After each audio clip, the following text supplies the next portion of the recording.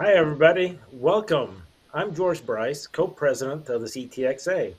I'm very excited to be here with you today on this momentous occasion. Today, we'll be joined by several of those that have been involved in its creation. CTX is a very rare disease that is often misdiagnosed and can affect different parts of the body. We're here today to share with you the purposes of the CTXA and what it's all about. It is a privilege of mine to introduce our guest that will tell us more about the, pur- the purposes and goals of the CTXA. Our first guest is Chris Rice, Executive Director of the ULF. Welcome, Chris. Thank you, George. Good evening, everyone. The We're happy United to have you here. I'm sorry? We're happy to have you here today. Thank you for joining us, oh. and thank you for the support of the ULF. Now, why don't you go ahead and share with our audience a little bit about the ULF and its support for the CTXA? I will do that. Thank you. The United Leukodystrophy Foundation, or ULF, was formed in 1982 when research on leukodystrophies and clinical support for affected individuals was far more limited than it is today. Through the years, ULF has supported families affected by a range of leukodystrophies, including cerebrotendinous xanthomatosis. We have helped families and patients find doctors. We have held an annual conference that brings researchers and clinicians into a relaxed atmosphere where they can have conversations with patients.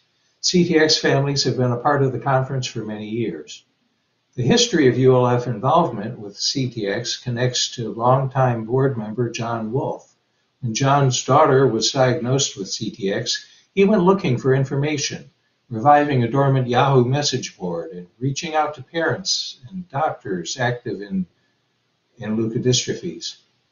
He created enough buzz that ULF President Paula Brazil invited John and his wife Angie to a ULF board meeting in DeKalb. As a result, in 2006, John and Angie Wolf joined the ULF board, ensuring the CTX viewpoint was part of all board decisions, and ULF invested resources in CTX support. Over the next two years, John faced challenges supplying his daughter with the one effective CTX treatment, chenodeoxycholic acid, or CDCA. It was manufactured in Germany, and families in the US bought it from an import company. When the importer closed his operation, John and other families started buying directly from Germany. Then the German manufacturer closed down production. Luckily, ULF's Paula Brazil had, had connections in the US and found someone who would produce a supply for CTX families. Greater stability came when Retrophin, which is now Travere, started producing uh, CDCA. ULF held two CTX-specific meetings over the years, bringing together families and doctors. In 2017, the ULF expanded its annual family conference, holding a number of sessions on specific leukodystrophies. And from the start, CTX families had a session. This formalized the annual sharing and discussions. It also demonstrated the depth of the CTX community and potential for further action.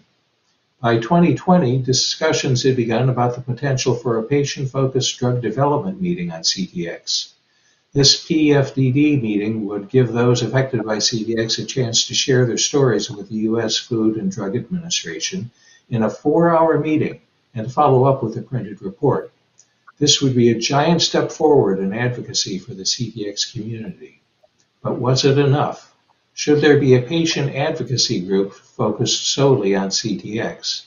Discussions with families led to the conclusion that a new nonprofit should be formed. So, in 2021, with the generous support of Travere Therapeutics and additional support from Leadiant Biosciences, the ULF embarked on this two-pronged approach to support the voice of CTX families. Happily, ULF had a relationship with Jean Pickford, who took on the job of bringing together CTX leaders and helped them form the CTX Alliance. The result is the active group that puts on this meeting tonight. In a few minutes, you'll learn more about the PFDD meeting from Bob Rauner. I congratulate the CTX Alliance for moving forward to educate and advocate, and I welcome opportunities to work with them in the future. There's much to be done, starting with earlier diagnosis and newborn screening. I see ULF working with CTXA to achieve these and many goals beyond. Thank you all for listening to my bit of history. Back to you, George.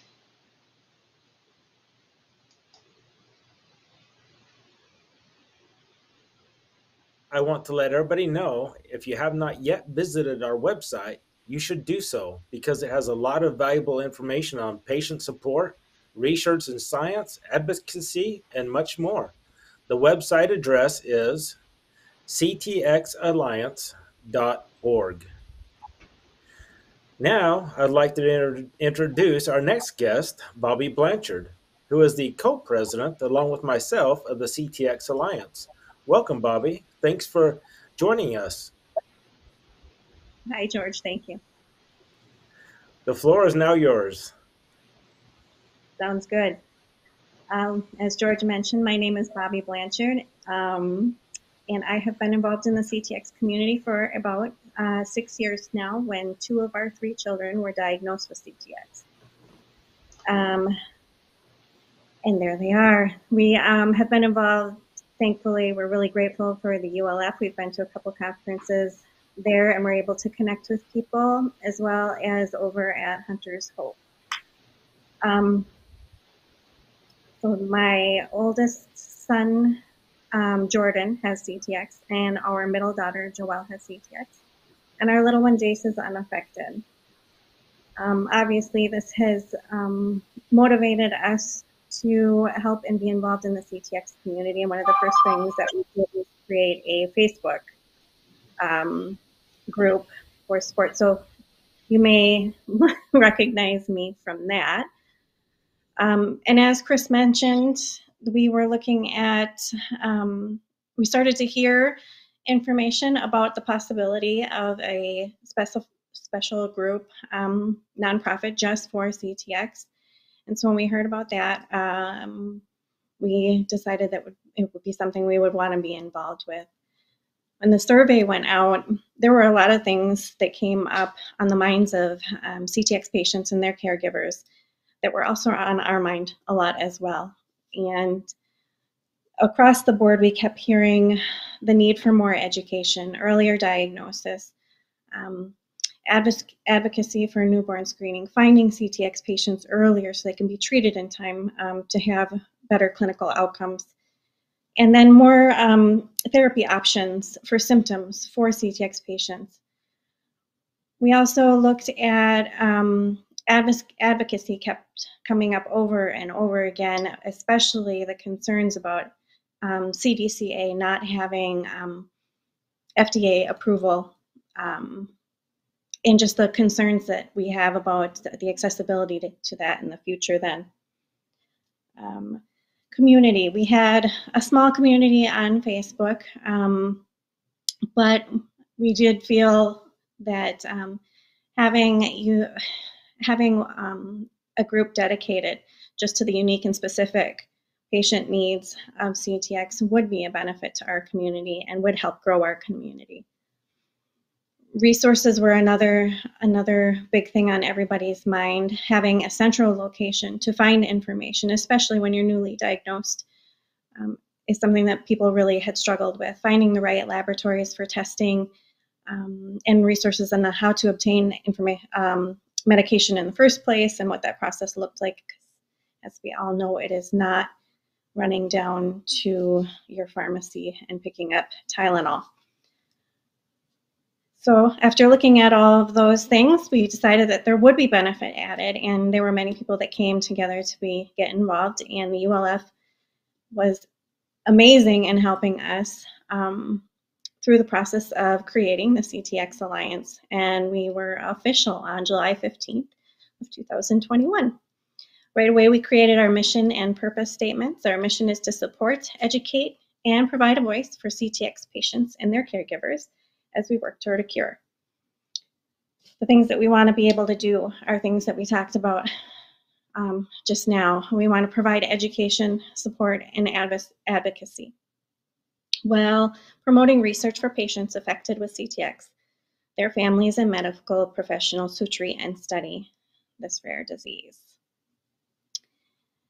And these are all of the people who felt um, called to join that effort, and we're a, a lot, part of a lot of those initial talks about creating the CTXA. You met myself and George. We also have um, Andrea DeBarber. She might be a familiar face for you. Um, she's our co-vice president. Um, next there is Shannon, and she is a parent advocate. We have Sean, Lori, she is our treasurer. Neil is our secretary.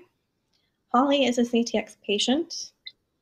Um, Dr. Steiner is the other co-vice president. Sue Stewart is a parent advocate. And this should probably be a familiar face to those of you who have been in the CTX world for a while now. Um, Mr. John Wolf, uh, one of the pioneering uh, parent advocates. And then we also um, were introduced to Mr. Chris Rice, who is our advisor um, as the ULF executive director. Now we're also, um, we have amazing team for our medical advisory board. This isn't something that always comes together right away for new nonprofits like us. But so we have been really, really gifted now. Um, there will be no written test or anything. This is all information that you can find, find on the website. Um, so I'm not going to go through their full bio, bios for you, but I assure you that they are incredibly intelligent, um, committed, and compassionate medical professionals who are who are um, we are just blessed to have them helping out the CTX community. You'll see um, Andrea DeBarber and Dr. Steiner, got some little stars on there. Um, they are also on our board, so they help us to communicate needs back and forth, um, which is a huge help for us. Um, Dr. DeBarber is at OHSU. Um, Dr. Eichler is at Mass General. Um, Dr. Larson is at the University of Colorado. Dr. Rizzo is um, at the University of Nebraska. Dr. Steiner is at the University of Wisconsin. Dr. Wishart is also at Mass General and Spaulding, Charlestown, and Salem.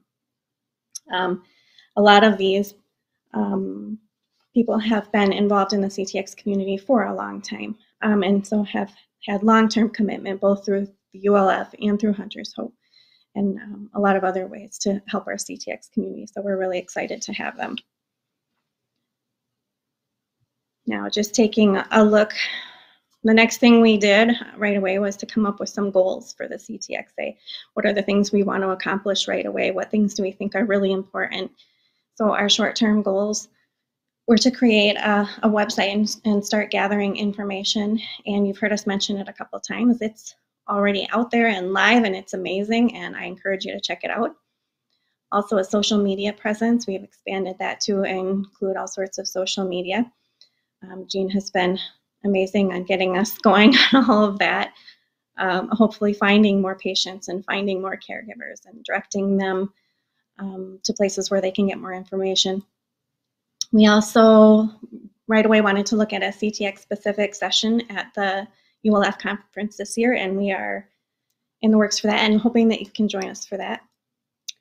Looking forward, our midterm goals are to raise global awareness. Um, obviously, we know that CTX is massively underdiagnosed. Um, one of the things that was brought up to try and do that was to add the, the CYP27A1 gene to the clinical and research genetic testing panels. And again, trying to find those patients that are undiagnosed what has come up often and regularly lately that seems to be over have been overlooked in the past is the psychiatric and mental health aspect um, that affects not only CTX patients but obviously um, their caregivers. And so that's something we want to try to bring more attention to and address and, and possibly um, push for some research in that area. Our long-term goals for uh, the CTXA include the trying to get that FDA approval um, for the CDCA. Um, working more towards newborn screening, which Andrea will share more about that. Um, and always a cure. And the more we learn about CTX, the closer we're going to get. Now, if any of that sounds like something you would want to be involved in, we would strongly encourage you, patients, relatives, friends, physicians, healthcare providers, um, anyone in the industry, pharma, leukodystrophy patient groups, anybody who would want to be part of this movement, please get in touch, register with us, and um, and get involved. Um, the website there again is ctxalliance.org. You can find us on Facebook, Twitter, and Instagram, or um, there is our our Jean Pickford, um, who was crucial in getting all of us set up and moving. So she would love to have more people to help her do that. So, um, and now I think that's all I had, and I'll hand you back over to George now. Great. You had a lot of valuable information there. It can be very helpful for everybody that's involved with uh, CTX. Um, and all you listeners out there, um, hey, if you've not joined the mailing list yet, you can do so right after the tonight's webinar by visiting our website. So as soon as we're done, go to the website and sign up. Uh, next up, please join me in welcoming Bob Browner, the president of the United Liquid, excuse me, Luca Leukodystrophy Foundation. Hi, Bob, and thank you for taking time out of your busy schedule to join us this evening. Well, thanks, Georgia, for the introduction. It's great to be here to share with the families. I know you have some important news to share with us tonight, so please go ahead. All right. Well, I appreciate that. Uh, kind of wanted to do a quick little tie in to Bobby, what he was talking about. Our registration's open for the our conference in June, so head to our website and get yourself signed up and uh, get your hotel room. So my role today is to welcome the introduction of the Voice of the Patient report. And for those that might not know me, my name is Bob Browner, and I get the honor of sharing this report with everyone in attendance here today and with those that will watch the video replay down the road. This uh, patient focused drug development meeting with the FDA was held last September. So, this meeting was obviously a culmination of nine months of planning and collaboration by the patient advocacy groups that facilitated this meeting. The Unlocked CTX Patient Focused Drug Development Meeting, or CTX, was one of the first opportunities for CTX patients and family members to share their li- lived experience with the broader medical and regulatory community. This was truly a milestone for our community. It also served as a testament to the power of the individual patient advocacy groups to come together to benefit our disease community.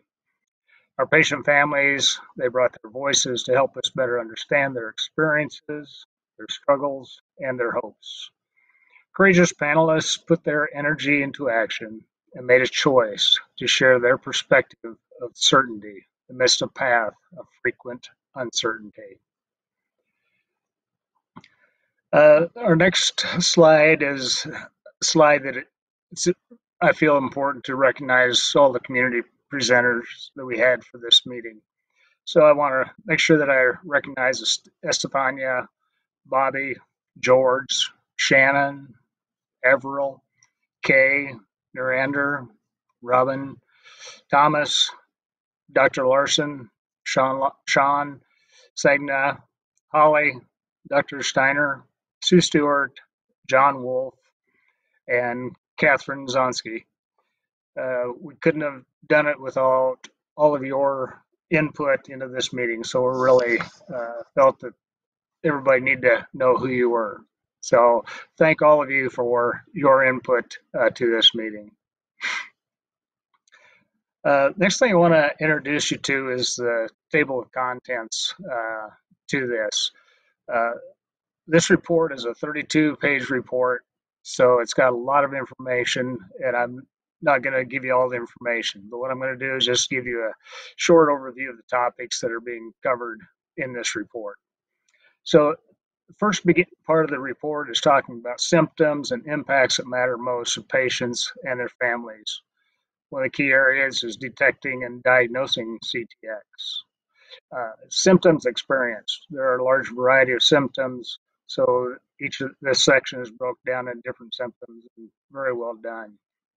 the next is what are the impacts of CTX on individuals that have CTX? Because that's obviously a great uh, burden for the families. And then we move to the impacts of CTX on the families themselves. So it's it's been a very challenging area to say the least. So the next section is talking about the current and future approaches to treating CTX. What therapies are used to treat CTX? Then we'll cover the downsides and burdens of current therapies. You know, what's what's what works, what's uh, what are the challenges, and then the last part is called the treatment outcomes desired and the unmet needs. This really um, gives us a good idea of what this group felt and the input that we got from all the other people as well. So it's been a it's a great report, and I hope uh, it's probably one of the best done reports that I've seen. So that's really good. I had to kind of throw. Found one of the pictures of the group uh, from a highlight there, and of course you you have Bobby, Dr. Steiner, Estefania, and George, Neil, and Kim with Kith Collective, who was our main person with uh, that directed this whole process. So it was really a very positive meeting, and it was so well run. It was it was easy for us to just uh, go with the flow. So they were great people. So so the next slide here is uh, just kind of a quick overview of fun facts that uh, showed up as we worked through this whole process. We had 92 participants that were live. So basically worked out as a third of those were life science company and staff people.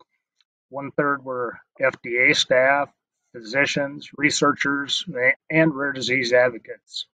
And the other one third were people who lived the experience. And that's probably the big key.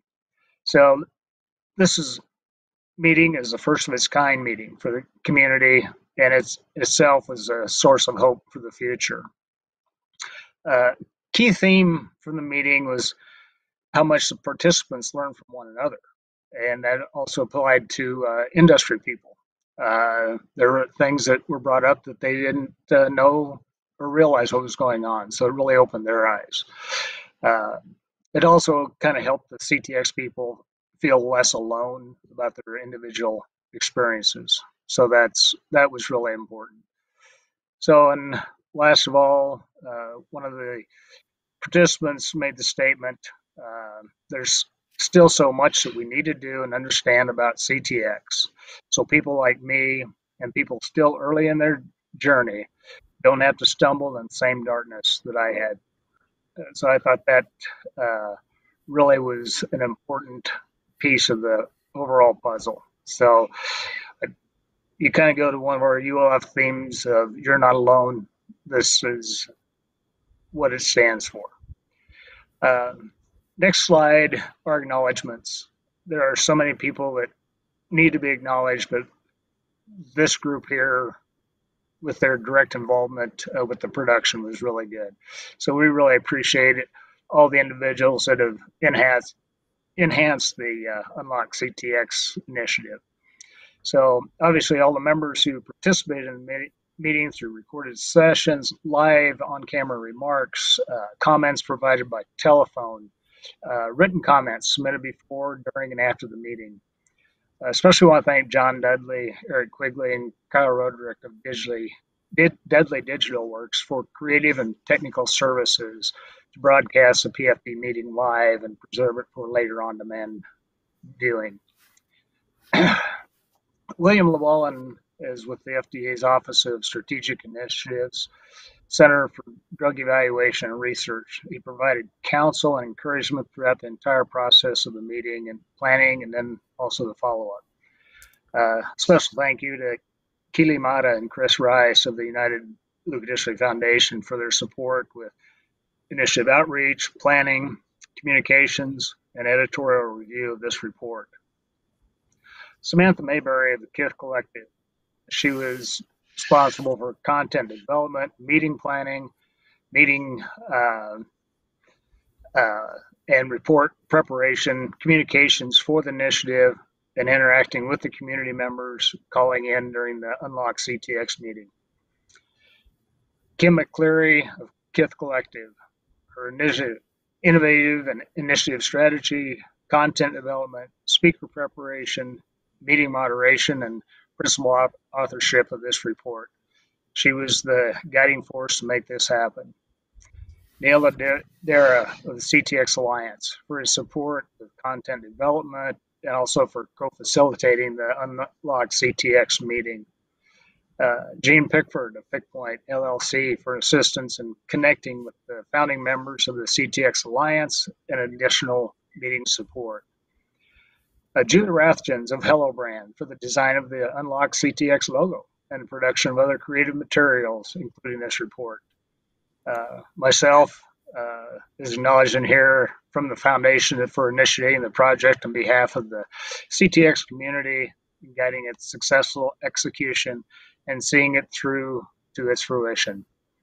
And obviously, the last ones are the members of the CTX Alliance Board of Directors for supporting the initiative and meeting content development and the review of this report. So, last but not least, uh, this group here is the most uh, important. Our rare disease partner organizations, LHTLC, CTX Alliance, European Leukodystrophy Association, Hunter's Hope, Leukodystrophy Australia, Leukodystrophy Resource and Research Organization, and the Spanish CTX uh, Association. Your partnership has been wonderful and it, it went a long ways to making sure that we could make this event happen. Last but not least, we want to especially thank our generous sponsors, Travere Therapeutics, Leadiant Biosciences.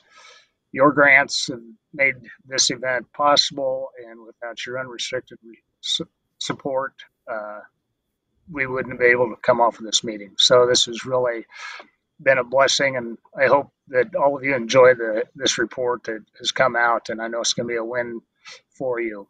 Um, I guess thanks for your time, and I will turn this meeting back to George. Thank you, Bob. Thanks for the voice of the patient report was very valuable on many levels. I'd love to hear how much the patients learn from each other at the meetings and how it's helped them feel less alone. We can all use that kind of support. Thank you again for joining us.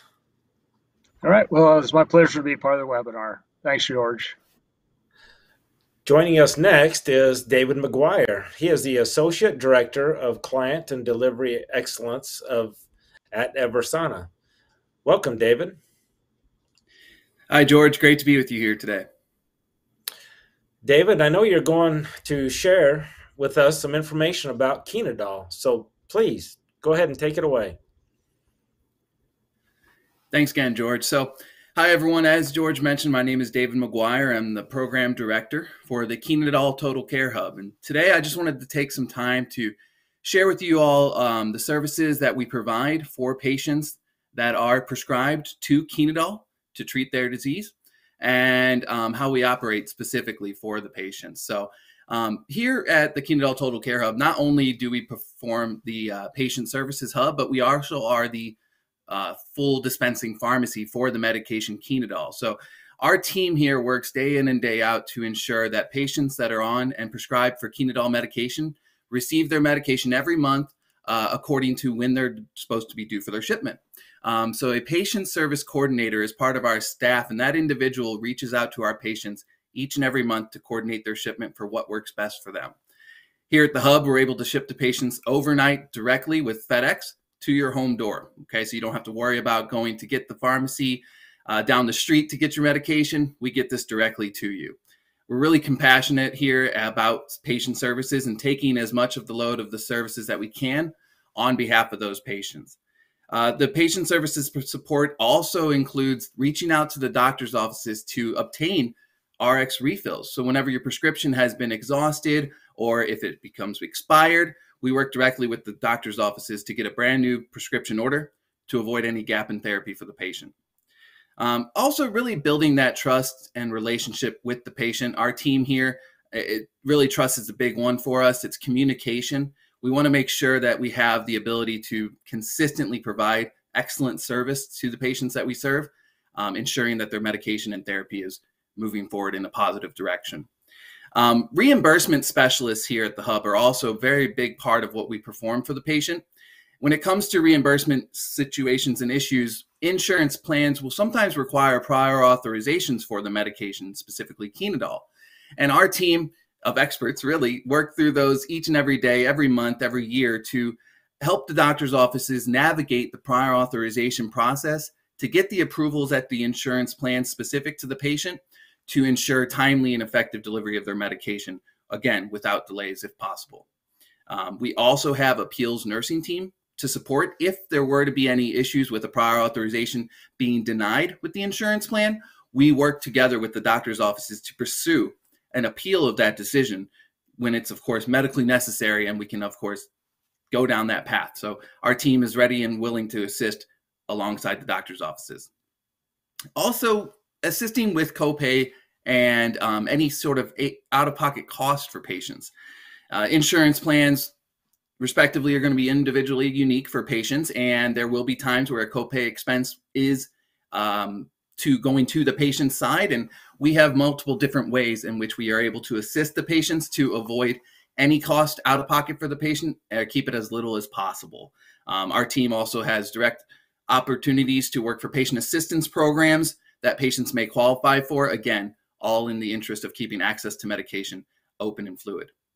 Um, as I mentioned, we are the full dispensing pharmacy for the Chenodal medication. We're the only pharmacy in the country. So we ship to all uh, United States locations, all states and territories. Um, again, I mentioned we ship overnight via FedEx. So we give you a call and you tell us when it's going to work best for you. We'll get it over to you immediately. Uh, also, what's really nice is we have a full pharmacy staff here on uh, accessible, I should say, to all of our patients 24 7 on call. Uh, it's really important and it's a great way for a patient to be able to ask any questions they may have around their medication. Anything comes up, you're able to reach out and speak to one of our pharmacists directly. And again, they are experts as well because we deal with all of these patients um, when we're talking through the Chenodal medication. And then lastly, again, I mentioned communication. This is really big part for us. Being able to connect with our patients in the way that they see bit, best fit uh, whether it's through text messaging, that digital connection. We can send emails for delivery coordination. Of course, we can also jump on the phone and, and reach out to the patients. A lot of our team members uh, build relationship with patients through the phone call and coordination of shipments that we have each and every month. Uh, you hear from your dedicated patient service coordinator to get your shipment. So um, I really hope this information today helps kind of shed some light here as to how we operate with the Chenodal Total Care Hub and and our main goal is to really assist patients and be along the journey um, for your therapy. And George, I'm going to send it back over to you. David, uh, from personal experience, I have to tell you that the uh, your team does a phenomenal job, and I do appreciate uh, you giving us that overview on the uh, Chenodal Total Care Hub and how it works. That was wonderful. Thank you so much. Thank you, George, next... and I appreciate. Go ahead. Thank you very much for your time. You bet. Our next presenter this evening is Dr. Robert Steiner, who is the co-vice president of the CTX Alliance. He is going to share with us some exciting news about the upcoming ULF Family, Family Conference and CTX meetings, which is just two months away. Dr. Steiner, welcome. Thank you, George. It's great to be here today. I'm really looking forward to this upcoming conference. Can you please tell us about it? Absolutely, I'd love to. So you've heard earlier in the webinar uh, today a little bit about the upcoming ULF Family Conference and maybe just brief mention of the CTX meeting. So I'd like to provide some more details.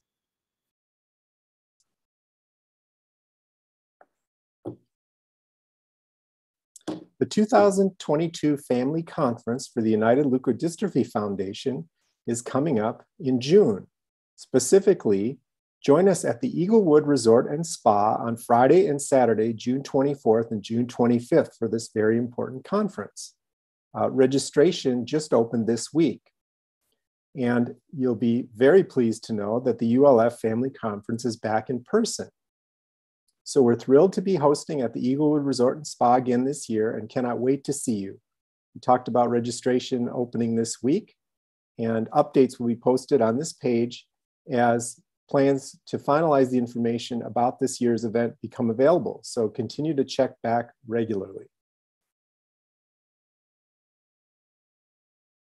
Next slide. This will be a two-day event, the ULF meeting. Arrivals Thursday, June 23rd with departures on Sunday, June 26th. This is an annual event where affected families can access the world's top leukodystrophy physicians and researchers. The ULF meeting provides the latest scientific information to keep families informed on advances in the field. And the conference guides families on topics that will improve their overall quality of life while living with a leukodystrophy. Next slide. These meetings have proved to be an invaluable experience for the whole family, as well as affected individuals, parents and caregivers, spouses, siblings, extended family, friends, and anyone else in the support network. The cost to attend is $25 per adult and $10 per child under the age of 18. But note that scholarships are available to families who are newly diagnosed or are in financial need. This fee cover, covers not only entry to the event, but also eight meals provided at the venue. Attendees are responsible for securing their hotel rooms and making their own travel arrangements. Now, you've heard about the CTX uh, Alliance uh, during the, tonight's webinar, and you know what their mission is. I won't repeat it here, but if we go to the next slide, I'm very pleased to announce um, that the CTX Alliance will be meeting uh, along with the ULF. Again, I won't belabor uh, the details of all the things that the CTX Alliance is doing and plans to do. You've heard about that from Bobby Blanchard earlier. But just to reiterate that the Alliance is involved in education, access, and it's a centralized hub for information. As far as education, we're interested in earlier diagnosis, better outcomes, and improved quality of life with access, you've heard that there's not currently an FDA approved treatment specifically approved for CTX, and we want that to change. There's access to the medication now, but what happens when and if it goes away? The CTX Alliance wants to take a proactive approach to trying to ensure that, that the supply never does go away. And finally, the hub provides a dedicated space and place for CTX patients and their families how many patients are not diagnosed? Or how many are diagnosed but don't know about ULF or the CTXA? We're trying to change that. The incidence of CTX is supposed to be about 1 in 50,000 individuals, and that would predict there's over 6,000 individuals in the United States. But the number currently receiving treatment is at least an order of magnitude less than that. Next slide. So here are the details of the exciting CTX family session hosted by the CTX Alliance at the ULF meeting, June 23rd, 2022. And just to go over the agenda briefly, introductions and welcomes will come from Jean Pickford, our CTXA Executive Director, along with Andrea DeBarber, Chair of the CTXA Board and CTXA Medical and Scientific Advisory Board. This will be followed by an by uh, with an overview of CTX, looking at the biochemical basis, diagnosis, clinical symptoms, and treatment of CTX, given by Bart Duell from the Oregon Health and Science University. Brian Wishart from Spaulding Rehabilitation Hospital, Mass General Hospital for Children at Harvard Medical School will provide the next talk, a literature review on functional and symptomatic management in CTX. Next, Penelope Bonnen from Baylor College of Medicine will speak to evidence to support similar progression of CTX within families. And Tzipora Falik Zaccai, MD, head of the Institute of Human Genetics at the Galilee Medical Center in Israel, will present on chenodeoxycholic acid therapy in CTX patients during pregnancy, a topic of great interest. This will be followed by Austin Larson from the University of Colorado presenting another systematic evidence review, this one on a different topic, however, lessons for implementation of newborn screening for CTX, diagnosis and management of newborns with CTX. Then another international speaker, Frederick Vaz from Amsterdam, will speak on the results of a pilot study screening 20,000 newborns for CTX and progress towards adding CTX to the Dutch newborn screening panel. Finally, Joe Orsini from the New York State Newborn Screening Laboratory will give an exciting update on the prospective pilot study screening of New York State newborns for CTX. And there will be a closed lunch for CTX family session attendees uh, and an in-person session. So thank you very much, and I hope to see you all at this exciting meeting.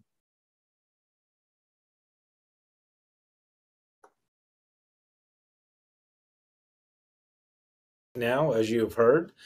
Um, you can register for it using the link on the screen. Please join us. It's going to be a great event. You're going to learn a lot and meet a lot of great people. Thank you again, Dr. Steiner, for uh, joining us this evening.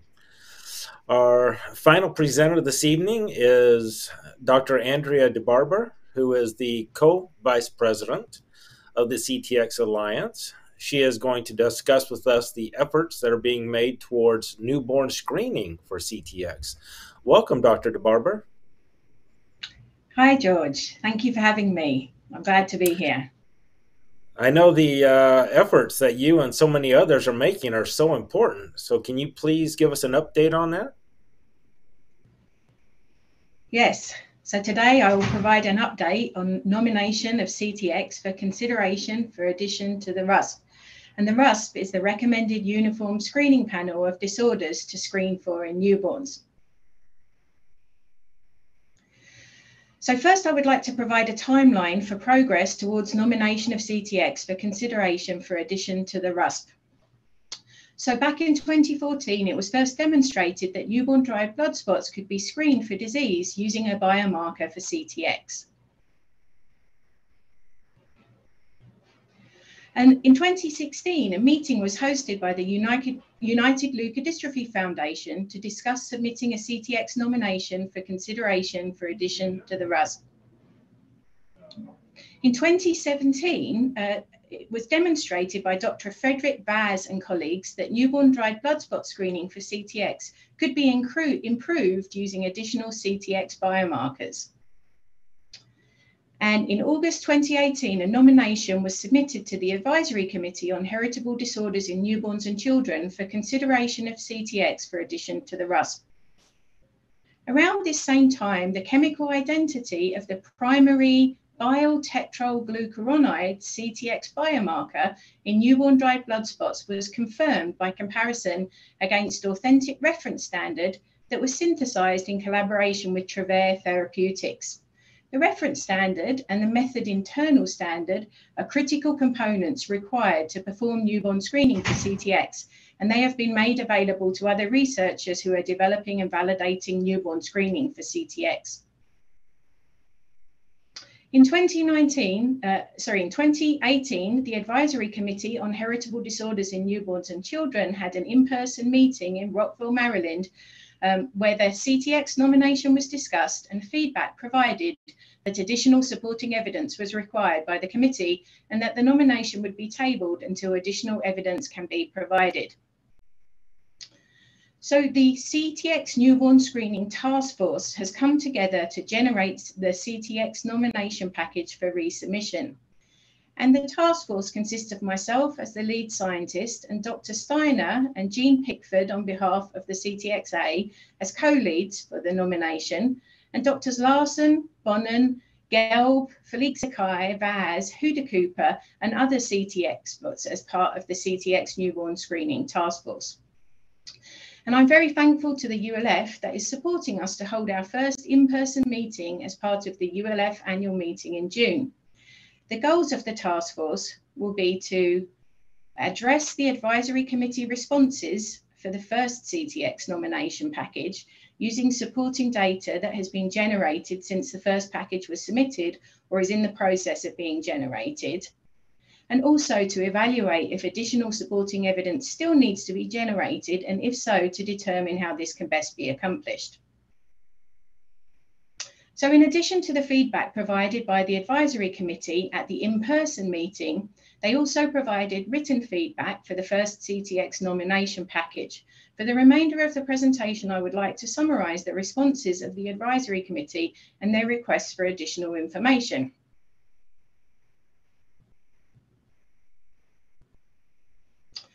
For the following key questions, the committee agreed sufficient evidence was provided. Is the nominated condition medically serious? Yes. Is there a widely available, clear and or FDA approved confirmatory test diagnostic process? Yes. Are there defined treatment protocols? Yes. Specifically, the committee recognised CTX as a medically serious condition that deserves thorough consideration. It was also concluded that there is a clear approved confirmatory test for CTX and that a treatment is available through an orphan drug designation by the FDA of chenodeoxycholic acid and that there are defined treatment protocols.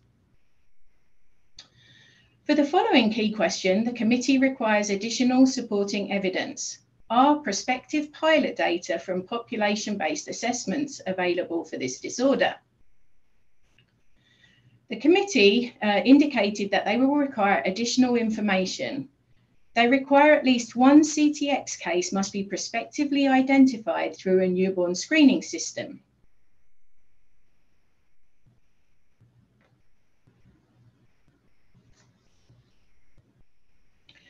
Oh.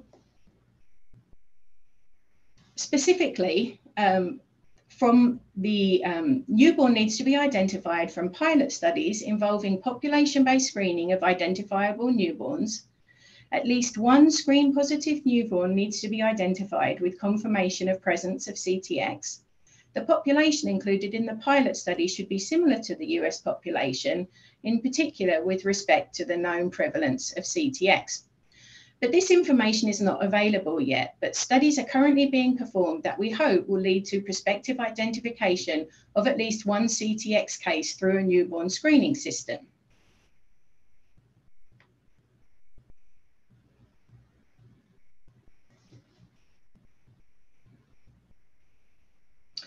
Screen Plus is a voluntary newborn screening research study where babies are screened for an additional 14 rare disorders, including CTX, that are not currently on New York's routine newborn screening panel.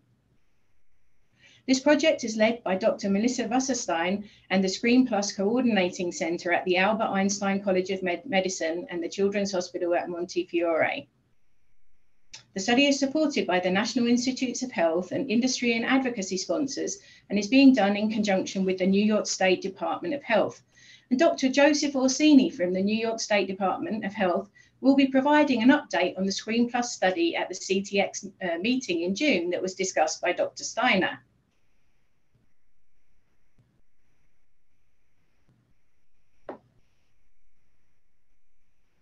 Another study is being performed in the Netherlands. Um, this is a screening. Uh, the Health Council of the Netherlands issued in 2015 an advisory report to the Minister of Health entitled Neonatal Screening New Recommendations.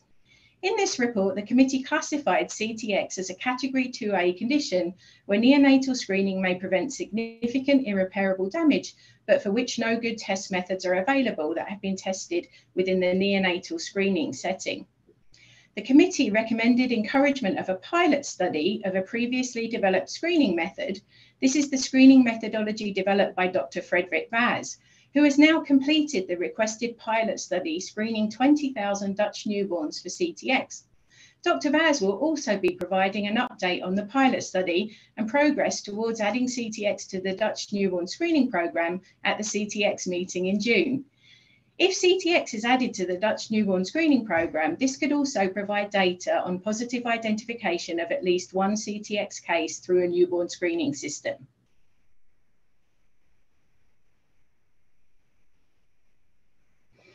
The committee also requires additional supporting evidence for the following key questions. Does the screening test have established analytical validity? And are the characteristics of the screening test reasonable for the newborn screening system? Specifically, uh, data should be available on the analytical validation of one or more of the screening modalities being proposed for use in population-based screening. It is also helpful to identify whether the screening methodology could be multiplexed and if the screening method could potentially identify conditions other than the nominated condition. Some additional test validation information is, is available since the first nomination.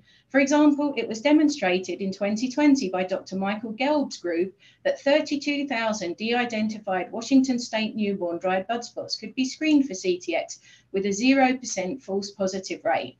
One de-identified CTX positive um, dried blood spot was identified as part of this study with CYP27A1 gene sequencing confirming two known pathogenic variants.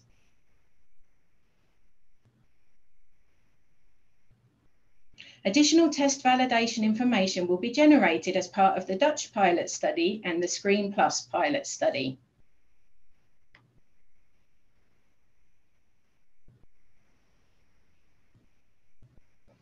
The committee also requires additional supporting evidence for the following key question. Is the case definition and the spectrum of the condition well described to help predict the phenotypic range of those children who will be identified based on population-based screening?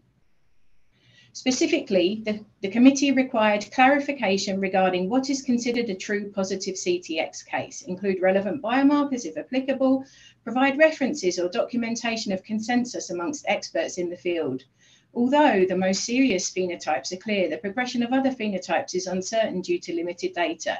If additional data are available on the spectrum of CTX, please include. Some additional information is available since the first nomination. For example, an expert opinion was published recently on diagnosing, treating, and managing patients with CTX.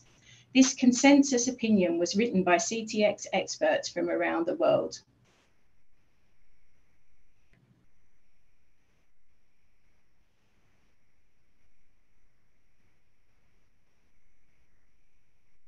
Some additional information is also available on the spectrum of CTX. For example, Stelten et colleagues published, uh, described CTX without neurological involvement.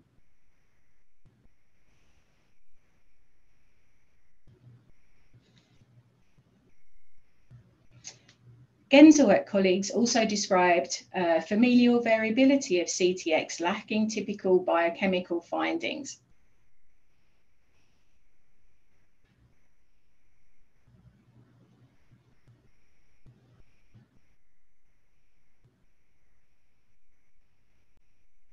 Next slide, please. The committee also requires additional supporting evidence for the following key questions. Do the results have clinical utility? If the spectrum of the disease is broad, will the screening and or diagnostic test identify who is most likely to benefit from treatment? i.e. could more serious or milder phenotypes be identified that may require different clinical management, especially if the treatment is onerous or risky?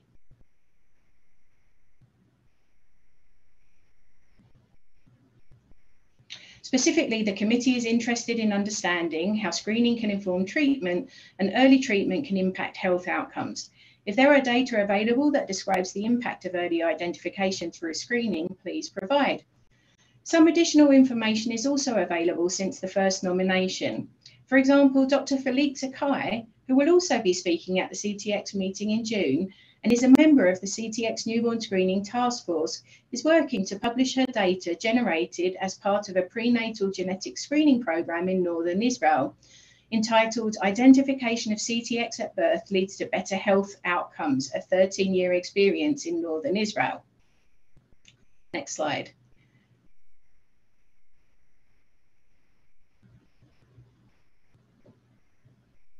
And please move the slide forward to the photo. Oh, thank you. And so um, I wanted to conclude the presentation by showing a picture of the group that attended the 2018 in-person advisory committee meeting. And you see here myself and Dr. Steiner and the many CTX patient and family representatives who attended, John Wolf, Susan Stewart, Kent and Donna Richter, and also Bob Rauner, the ULF president, who all travelled to Rockville, Rockville, Maryland uh, to attend the meeting and provide public comment.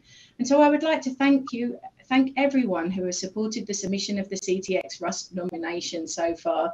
This really has been a team effort. And Dr. Steiner and I are excited to be working with the CTX Newborn Screening Task Force on the nomination resubmission and thankful for the continued support of CTX patients and families and patient advocacy groups, including the CTXA, the ULF, and Hunters Hope.